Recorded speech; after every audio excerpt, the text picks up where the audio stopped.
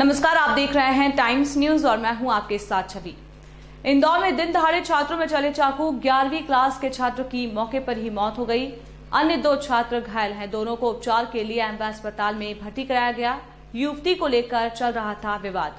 दरअसल, मामला परदिशीपुरा थाना क्षेत्र के नंदा नगर में स्कूली छात्रों के बीच युवती को लेकर विवाद हो गया। इसी बीच नाबालिग छात्र ने शिवम चौहान का चाकू से गला रेत कर हत्या कर दी। वहीं अन्य दो छात्र नितिन और नरेंद्र चाकू लगने पर घायल हो गए।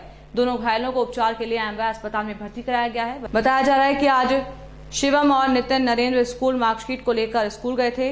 इसी दौरान नाबालिग आरोपी द्वारा युवती से बातचीत करने को लेकर विवाद हो गया, जहाँ नाबालिग आरोपी ने चाकू से शिवम पर वार कर गला रेत कर बेरहमी से हत्या कर दी। बीच बचाव करने आए नितिन और नरेंद्र भी घायल हो गए।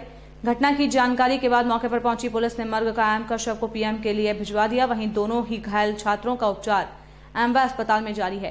घटना के बाद पुलिस अब नाबालिग आरोपी की तलाश में जुट चुकी है। पता नहीं मैं थोड़ा दूर दूर था तो मतलब इन लोगों की हाथापाई हुई। और एकदम से उसने चाकू वाकू मारना स्टार्ट कर दिया कौन था इसमें चाकू मारे? गोलू शर्मा। कहाँ रहता है ये? मुझे पता नहीं मेरे दोस्त को पता है। जो क्या करता है? इस इलेवन क्लास में पढ़ता है। और जिसको चाकू लगे हैं उसका क्या नाम? है शि- शिवम एक का नाम शिवम है एक का नाम नितिन है और एक का नाम नरेंद्र है। क्या विवाद था? कुछ जानकारी है आपको? नहीं मुझे पता नहीं वो एकदम से मतलब लड़ाई वड़ाई करने लग गए तो उसने हाथ से चाकू निकाल मारा। कितने लोग चाकू मारना वाले? चाकू मारने वाले कितने लोग थे? एक ही था। वो। पहले से जानते हो? सभी स्कूल में ही पढ़ते हैं कहाँ पे पढ़ते थे ये लोग? क्यों? अरे कहाँ पढ़ते थे? कौन से स्कूल में पढ़ते थे? नंदा नगर दो लोग घायल भी हुए क्या पूरा घटनाक्रम रहा ये? अभी परदेसीपुरा थाना क्षेत्र के अंतर्गत एक वाकया हुआ है जिसमें कुछ स्कूल के छात्र हैं। उनके आपसी बीच में कुछ एक ऐसी घटना हुई जिसमें चाकूबाजी हुई है और उसमें एक जो बालक है, बताया जा रहा है, वो अभी ख़त्म हो गया है। और बाकी दो अन्य छात्र हैं, वो घायल हुए हैं। अभी प्राइमरी तौर पर ये बात पता चली है कि एक कुछ महिला मित्र को लेके कुछ इनके बीच में आपसी विवाद हुआ था।